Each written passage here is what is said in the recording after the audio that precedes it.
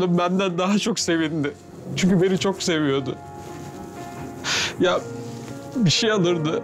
Yatılı okulda okuduğumuz süre zarflarında dışarıya çıkardı. Aldığı şeyi gidip orada yemezdi.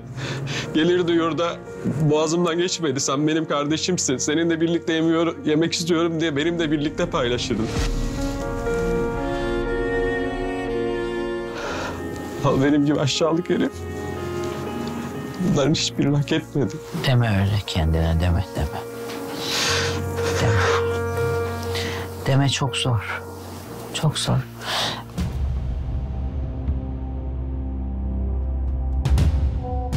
Ee, mesaj geldi.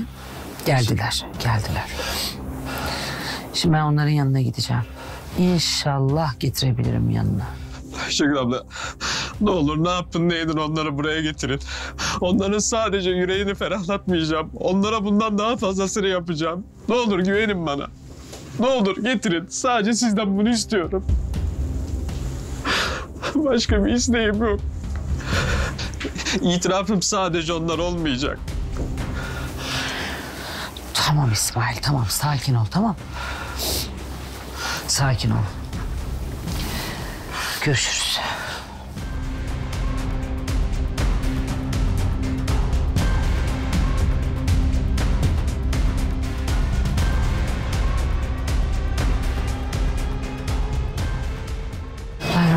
Merhabalar. Merhaba. Merhaba. Recep Oya. Evet. Hoş geldiniz. Merhaba, hoş bulduk. Nasılsınız? İyiyiz. Siz? Teşekkürler. Ben de iyiyim ama siz çok iyi değilsiniz. Özellikle şundan sonra, Ya evet. e, ben saçmalıktan sonra. Yani. Evet.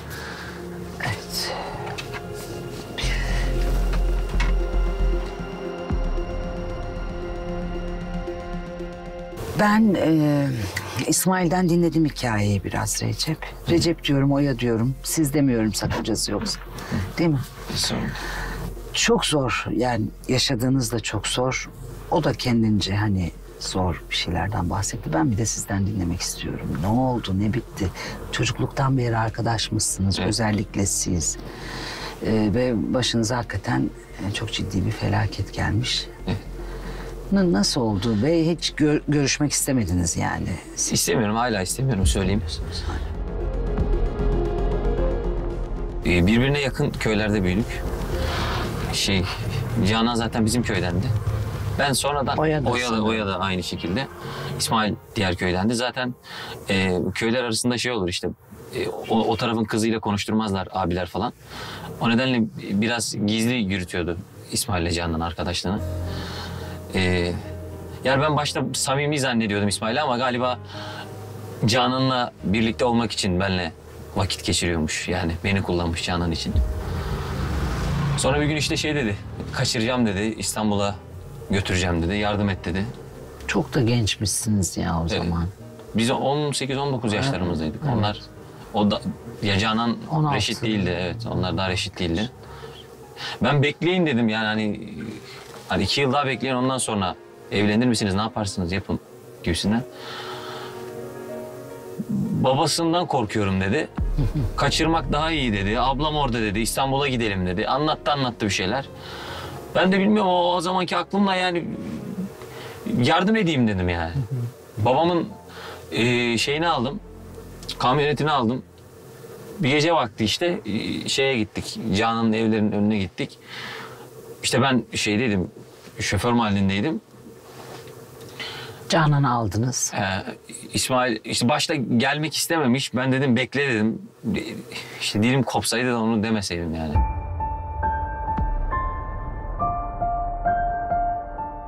Orada dedim bekle yani o başka bir şey yani Ba- babasından belki hani vakit bulmak için sana bir, bir, bir işaret vermiştir falan. Sonra yola çıktık. Sonra o kaza oldu işte. O Ankara yolunun üzerinde.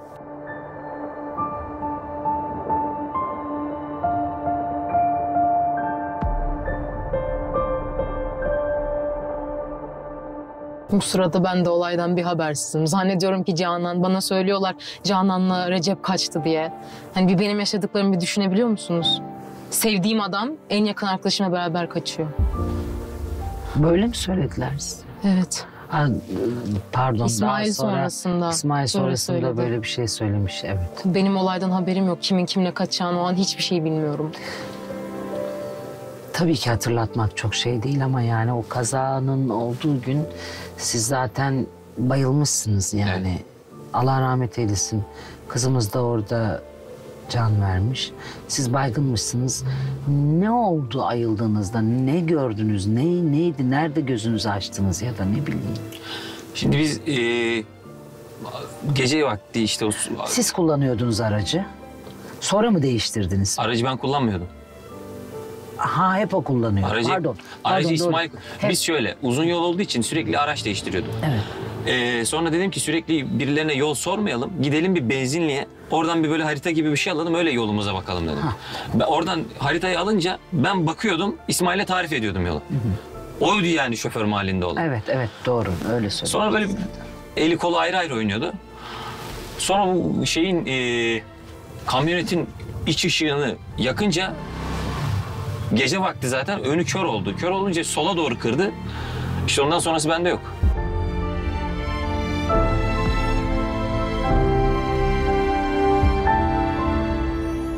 Ben gözümü açtığımda ambulans vardı. Ee, sordum hemen e, İsmail'le Canan'ı sordum. Bir kişi olduğunu söylediler, bir kadın olduğunu söylediler. Sonra da işte gözümün önünden o ceset torbası geçti. O kadar o hatırladığım an o, o güne dair.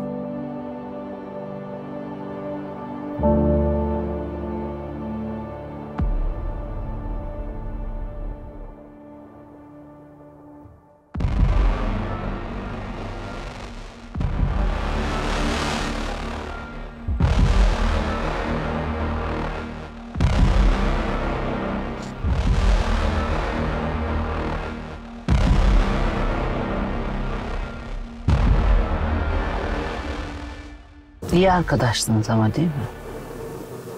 Aynı yurtta büyüdük. Evet. Çocukluğumuz aynı yerde geçti. Babamız aynı mesleği yapıyor. Şaşırttı sizi değil mi daha sonraki tavrı? Yani sizi tutuklamışlar e, kazayı yapan ve hani ölüme sebebiyet vermekten. Siz içeride kalmışsınız. Evet. Yanlış e, beyan verdi. Mahkemeye çıktığında sanki ben kullanıyormuşum gibi anlattı her şeyi. Sonrasında Canan'la benim ilişkim olduğunu, bize yardım ettiğini söyledi. Sonradan anlıyorum ki zaten hani olay yerinde o ayıldıktan sonra kaçmış gitmiş Sivas'a.